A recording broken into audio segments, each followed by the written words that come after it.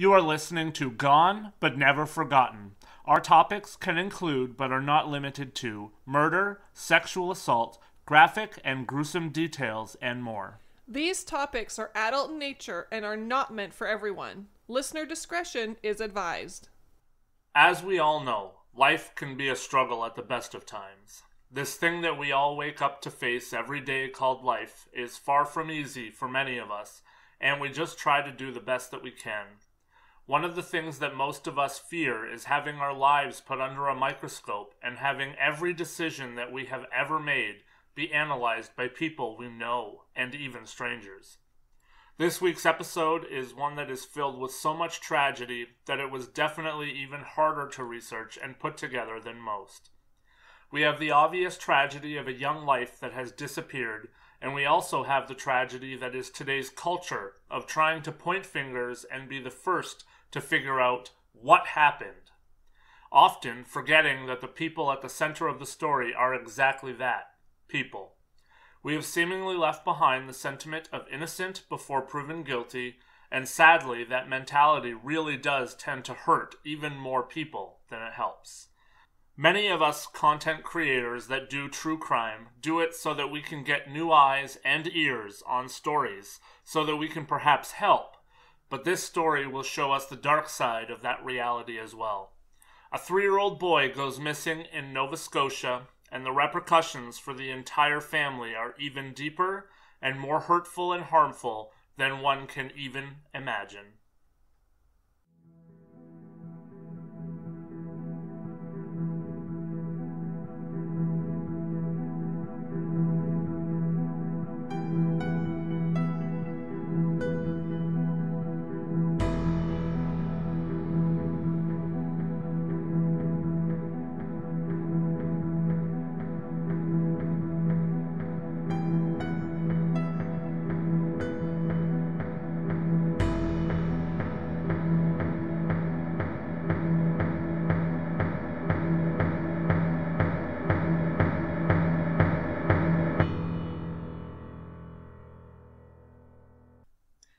Everyone, and welcome to episode 17 of Gone But Never Forgotten The Sad Story of Dylan Ehler. This one will pull at your heartstrings and will hopefully give us a pause when we think about the way that we attack true crime stories and vilify people quickly in the court of public opinion. But before we get to that, let's tone down the seriousness for just a moment if we can. Lance, how are you doing? Uh, I'm doing all right. You know, um, as we record this, we're a couple weeks out from Christmas, so we've got all that fun stress and good stuff going on, and just ready for some holidays and hopefully a chance to refresh. Yeah, definitely bring in a little bit of joy in this time, that's for sure. Yeah, I agree. Well, I think that it's about time that we dive headlong into this terrible story that really lays out a lot of the pain that is felt by family, friends, and everyone else that is involved when something terrible like this happened. Let's learn about Dylan Ehler and all of the side stories and sadness that comes along with a missing child.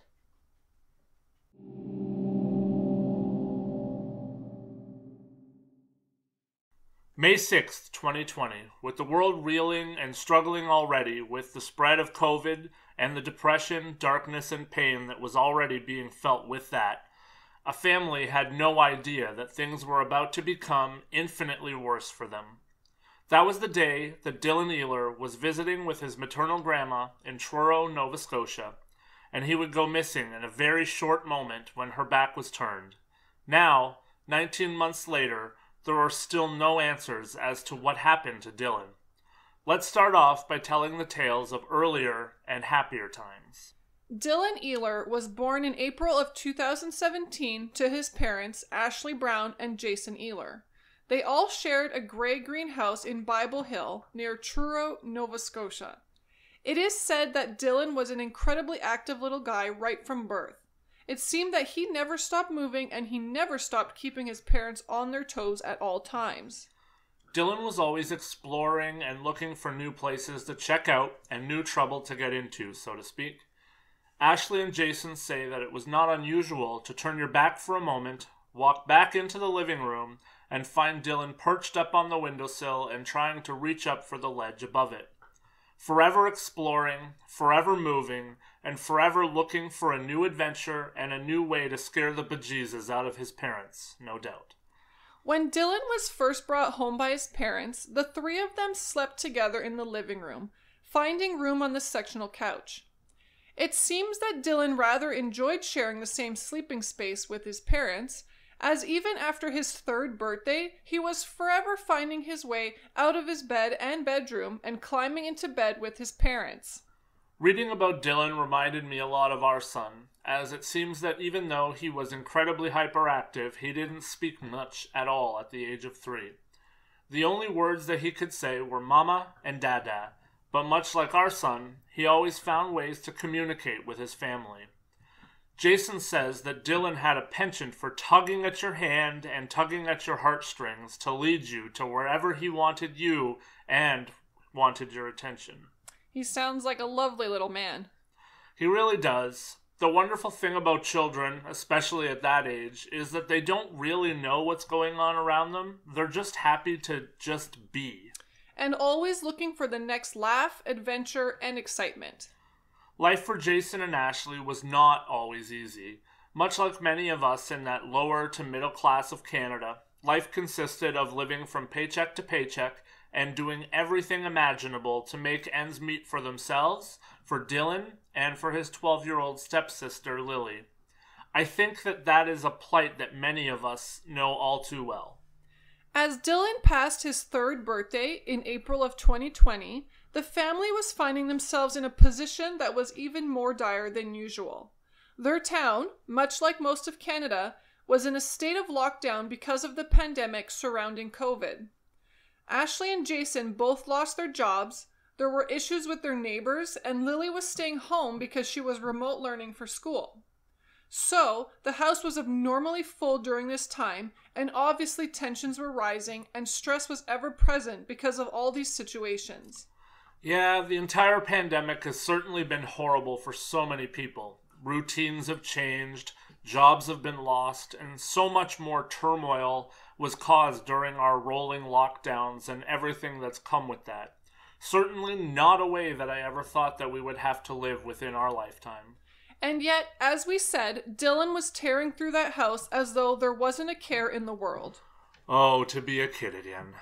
One thing that many people don't know is that Nova Scotia, for many years, was actually known as the lost person capital of North America. As beautiful as the scenery is in Nova Scotia, ripe with trees of many kinds and wild and dense vegetation, it also made for a prime problem. That being people going for a walk or a hike and then realizing that they didn't know where they were, or worse yet, how to get out of the area that they were in everything can start to look the same in those circumstances. Yes, and sadly, that fact comes into play a little later here with this story. The pandemic, as we all know, began to really drag on. Weeks turned into months, and months have now turned into years. Yes, and speaking from personal experience, I can say that I've changed a lot during this pandemic, and I would venture to say that those changes have not necessarily all been good ones. It's been much the same for many people, and for Jason and Ashley, it seems like it was much the same for them. In early May of 2020, Jason and Ashley awoke to a situation that was bad from the very start. The neighbor, who they'd had some issues with, had a buddy that was banging on their windows and yelling and screaming. That caused Jason to get out of bed furious, as I think anyone would really do in that situation. Things between the two, though, escalated very quickly in the anger and the stress of that morning. Ashley doesn't remember what caused the quick escalation, but the end result was that she hit Jason. In retaliation, Jason was out of bed like a shot, and everyone was yelling, and the situation was escalating quickly. Jason yelled that he would kill Ashley, and he took her phone and smashed it on the kitchen floor. Someone overheard everything, it would seem, and the police were called. Ashley was charged with assault, and Jason was charged with mischief and uttering threats. The two were released, and a court date was set for later that summer. The judge also ordered the couple to have no contact in the meantime. with their moms acting as go betweens for them. Ashley stayed at home and looked after Dylan and Lily, while Jason stayed with his parents about 15 minutes away. Things were contentious between everyone, as obviously the situation caused a lot of stress, as any massive changes like this in these situations can do. On the morning of May 6, 2020, Ashley took Dylan out for breakfast, and later that day she got a message from a friend asking if she wanted to go out. Ashley knew that she needed the break as she was exhausted, so she asked her mom if she could look after Dylan for a little while. Her mom agreed, and Ashley delivered Dylan and a bag of necessities to her mother's house. The area where Ashley's mom lived was far from ideal. Even small places like Truro have areas that many would call the slums, so to speak. And that is that what the area where she lived in is referred to by many of the people who live within the area. Dylan, though, loved going to visit his grandma, as she had a puppy who was one of the few living things in the world that was able to run, play, and just go at the same speed that Dylan was used to running at. Dorothy, Ashley's mom, said that she was going to let the two play and burn off some steam in the backyard, and the, and she joked with her daughter that maybe they should put the puppy and Dylan on a leash because they were both apt to run and never stop. Ashley pulled out of the driveway shortly after 11 a.m., and little did she know the horror that was about to overtake her, her family, and their small town. At about 1:15 p.m., Dorothy was in the backyard with Dylan and the puppy, and she says she turned her back for only a short moment to tie the puppy to his lead. When she turned around again, Dylan was nowhere to be seen.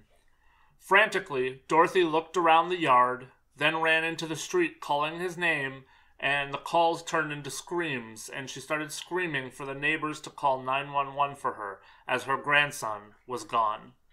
A 911 call was made, and only four minutes later, the police showed up on the scene and immediately joined in the hunt, fanning out in the area to try and find Dylan as quickly as possible. Ashley's father drove over quickly to her friend's house to pick her up drive her over, and give her the horrifying news that Dylan had ran off from the backyard and that a full scale search was in effect. At this point, with her mind racing, Ashley tried to focus in on the fact that they would likely find Dylan before she even arrived. Ashley knew her son, and she knew that he had a playful spirit. As such, she was sure that his imagination had simply got the best of him, and that he would be found somewhere quickly. Sadly, though, this was not to be. Firefighters, police officers, search and rescue, everyone was called in to search the area to try and find young Dylan. People were searching every nook and cranny that they could, including walking through the river that was waist deep and fanning out from the home. Six long hours were spent without anyone finding so much as a trace of Dylan in the area. However, as you can imagine, sometimes finding a trace can be even more ominous than not. This was one of those times for sure. A volunteer came across a little boot that was in a shopping cart that has, had been left abandoned in Lepper Brook, and it was indeed quickly deemed to have belonged to Dylan. Then, about 90 minutes later, another volunteer pulled the matching boot stuck in mud about 60 feet downstream from the first. At this point, things were really not looking good. For days, the search continued. People everywhere were engrossed by the story. Across the province, people took to leaving boots out on their steps as a beacon of hope for Dylan that he would be found and to show the solidarity and support for him and his family. Obviously, at this point, a lot of the efforts were centered in and around the water. The idea that most people seemed to be going with at this point was that Dylan had made a run for it and found himself quickly at the nearby creek. At his young age, Dylan had not yet learned how to swim. Dive teams took to the water, underwater cameras were used to skim and hopefully find anything that they may have missed previously, and helicopters flew in low over the area looking for anything that looked out of the ordinary. Ashley and Jason took to social media to try and help keep the news flowing, keep Dylan's picture spreading as far as it could, and to coordinate searches and align assistance in any way that they could. Social media can be a wonderful way to coordinate and find more volunteers and just keep everything and anything in the public eye. Of course, time is of the essence. Sadly, though, as anyone who has been through a situation like this knows, or for that matter, anyone who uses social media knows, social media can quickly become a cesspool. Mix that with the internet detective crowd that descends any time that a story like this is in the news, and you often do get a few bad apples that can quickly turn to rumors, lies, and painful sentiments that spread like wildfire. Yes, and after two days of Dylan being missing, that is exactly what happened here. Ashley's sister in law told her to stay clear of social media, but it was already too late. Message boards, inboxes, and the like were filling up with a new theory. The theory was that Ashley was public enemy number one in the disappearance of her son. Yeah, Ashley's TikTok account had been uncovered by some of these so called internet sleuths and they had found a couple of videos of Ashley that they decided were evidence of problems. One such video was part of a wider spread parody on the internet of one of the songs from the movie Frozen. The video was taken in April, and Ashley had sung along with the words to the dark parody. Quote, Will you help me find a body? Come on, we can't delay. No one can see him on the floor. Get him out the door before he can decay. So, an internet fad that many, many people had taken part in was seen as the reason that Ashley was viewed as a suspect by the general public at large? Sadly, yes. And I can think of very few things that could make an already bad situation worse like this. You go from being heartbroken and torn apart at the disappearance of your son to being hung by the jury of public opinion hiding at home behind their computer screens and digging up dirt and sending you messages around the clock. What a horrible situation. Yeah, that's truly awful. Social media can truly be your best friend and your worst enemy all at the same time. People ran down Ashley for getting a haircut and even took issue with the fact that Jason was sleeping at all, saying that they would not be stopping for rest if this was their child that was missing. Everyone has an opinion, right?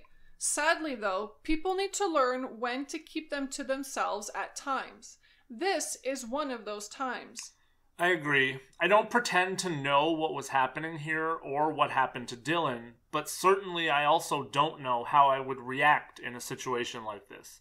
Nobody really does until they're living it, and all you can do is hope that you never have to live it. As if their lives were not already in tatters, Things just continued to get worse for Ashley and Jason. People started to arrive outside their home, taking pictures, following them wherever they went, and just generally stalking them. Even an employee at the hospital partook in a privacy breach and looked up health information on Ashley, Jason, and Dylan.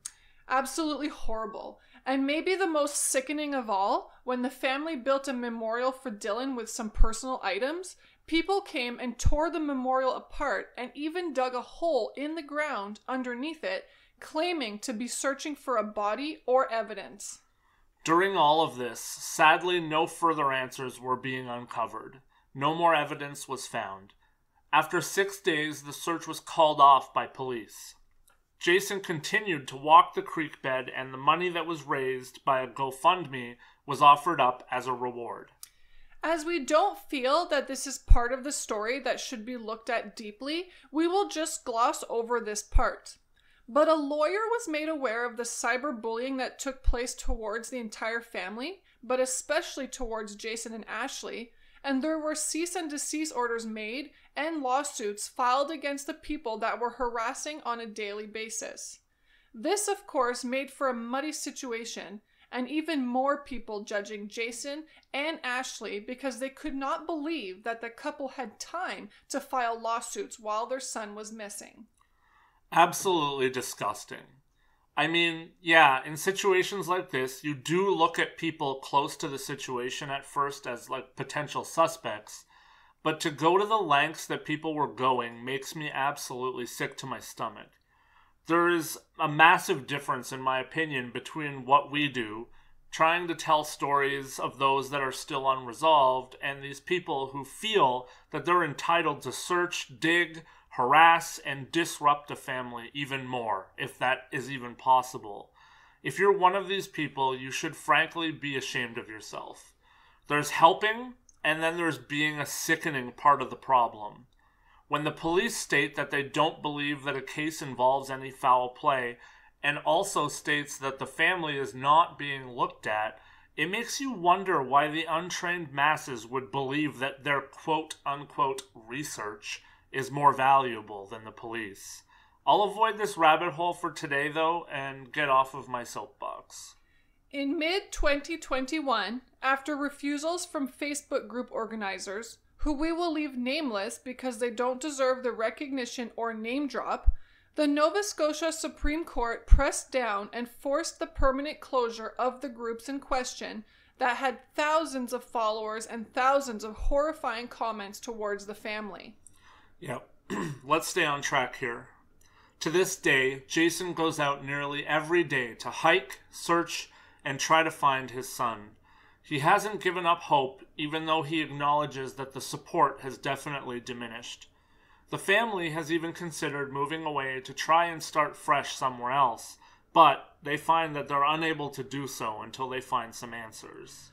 There is also seemingly a large amount of bad blood between the family, especially Jason, and the Truro Police Department, as there have been many marches to try and gain visibility and many attempts to try and get the police to look at the case renewed again.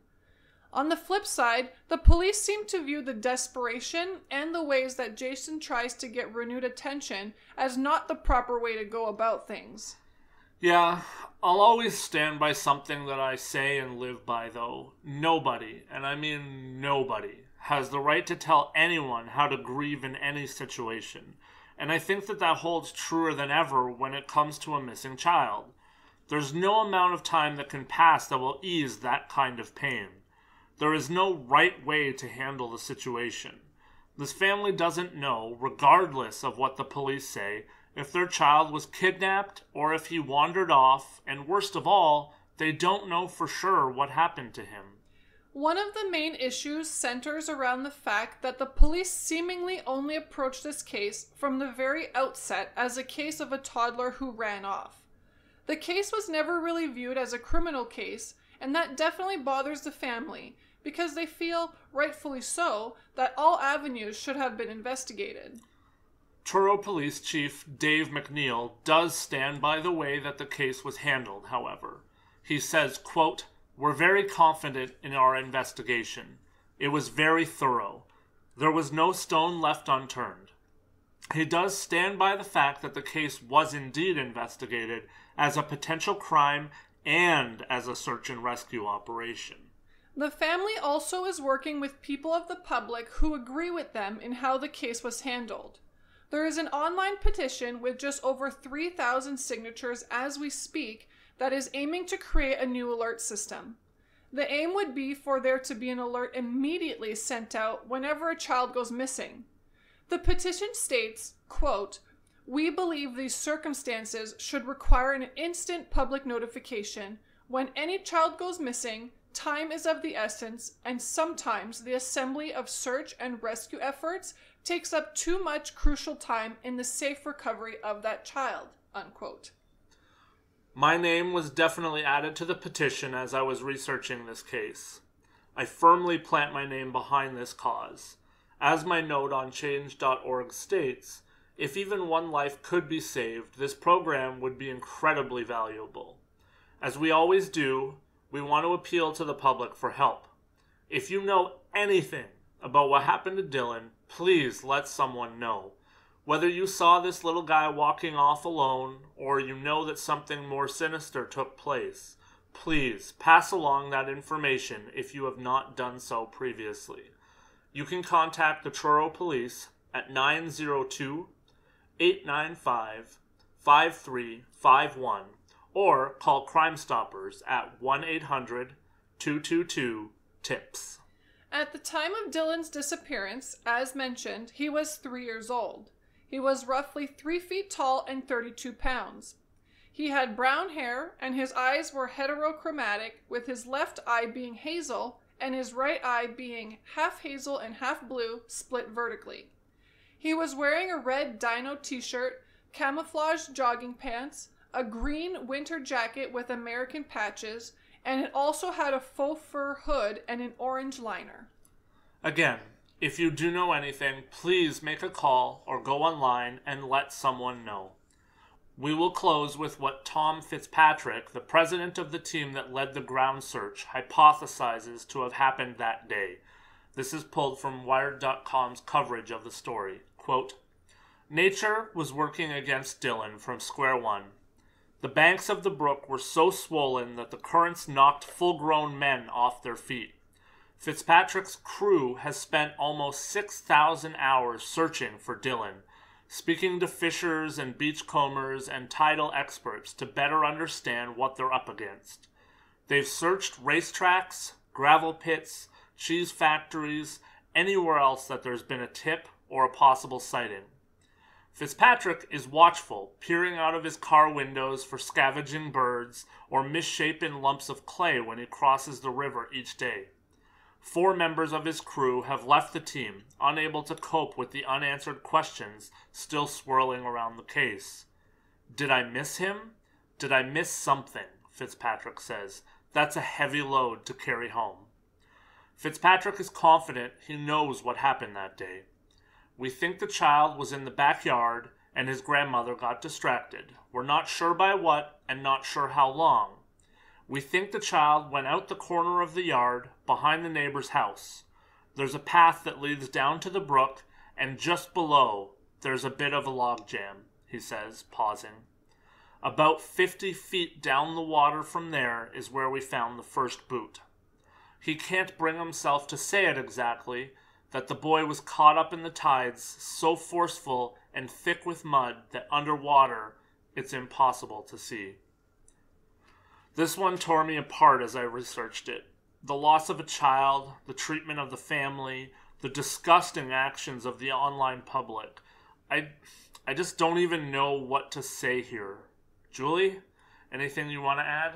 Um, yeah, this one is really sad. I mean, it's always sad when it's a child, but it's there's no answers and there's a lot of questions, right? Like things happen quickly with kids. They're they don't think about the things we think about. Um, and it's just tragic that, you know, there was a creek like right nearby. You know, there's so many questions with this one to be honest with you. Yeah, I've kind of alluded to it as we were going through and in my show notes and such, but like this one just makes me angry. I mean, I get it. I understand that people think that they're helping when they act in different ways, but dragging a family over the coals when the police aren't looking at them as suspects, it just seems wrong to yeah, me. yeah. Like these two people and the family at large don't need and didn't need this extra stress and this bullying and we live in this era where people have taken their own lives because of some of the stuff that Ashley and Jason were going through. Like it's just it, it honestly makes me sick to my stomach. Yeah. I mean, I understand like where you're coming from obviously, and I don't think it's okay what they did, but I think when it comes to a case of a child, everybody gets disturbed or you know gets emotional about it. So i think in a way even the public was grieving this horrible situation. Were they grieving in the right way? No. But i think it just goes to show that when something happens to a child we're all very much something happens to us inside of us. It's just absolutely horrifying. But something happens inside of you but could you imagine going could you imagine setting up a memorial for your kid and people tear it down and dig there because they think that you were marking his grave. Oh, for That's sure. disgusting. And I'm not I'm not agreeing with that. I'm just saying that, you know, when it comes to a child case, it's just not the same as any other case. It's just different. Yeah, I mean, like I said, I don't want to get too deep into my rampage against social media because obviously in cases like this it's helped in some cases, but just the lengths that people go to and i think i honestly think that like this pandemic has made it worse. Everyone thinks that they're like king shit when they're sitting behind their computer monitor and they can say and do whatever they want. Yeah, I mean, I will say if you are like the public in this situation, use your social media to help and, you know, be a kind and loving towards the families and be a support system for them, you know, because they're already dealing with so much mental stress and their mental health. Like, you know, telling them that they can't, like, how dare you sleep, you know what I mean? Like, be a support system for that person. Give them the strength to continue this search because ultimately we're all fighting for the victim. you know like how how good are you going to be at searching if you haven't slept for three days? You know what i mean? Like i just anyways i think we'll call it a wrap here on this one. I hope and pray for the family of dylan that they find answers so that they can try to move on with their lives in whatever way is possible after such a tragedy. This one is fresher and newer than many of the stories that we cover which makes it hit home i think a little more. I hope that the hunt for answers doesn't end and that somehow we can provide some small measure of help also in ensuring that even though Dylan is gone, he is not and his story is not ever forgotten.